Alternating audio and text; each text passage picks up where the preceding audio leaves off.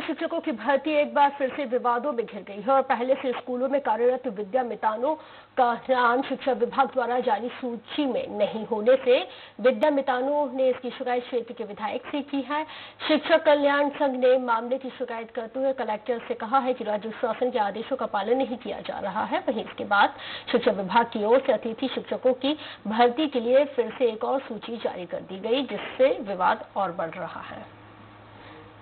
पिछले तीन वर्षों से काफ़ी डिस्ट्रिक्ट में कार्यरत हैं। लेकिन अभी जो लिस्ट निकला है, उसमें हमको बिल्कुल नकार दिया गया है, बिल्कुल हटा दिया गया है।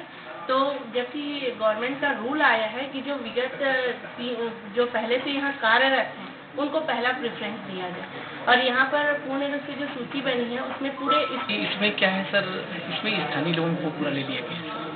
तो ये है, हम लोग जो ज़िले के, जिस ज़िले में काम करते हैं, जैसे मैं मुख्यमंत्री के ज़िले से हूँ, है ना? ये स्थानीय वाली बात, निवासी वाली बात कहाँ थी सर? एजुकेशन में जब यहाँ के बच्चों को जब कोई पढ़ाने वाले नहीं थे तो हमारी नियुक्ति की गई तीन साल हम लोगों ने इन बच्चों को पढ़ाया, उनका भविष्य बनाया। आज हमारा ही भविष्य अंधकार तो सिस्टम से बाहर मतलब उनकी नौकरी चली जाए तो इनकी एक मांग है कि जो पहले से पढ़ाते आ रहे हैं और वो भी कहीं बाहर की नहीं है। हमारे ऋषि रीवा में दो दिन पहले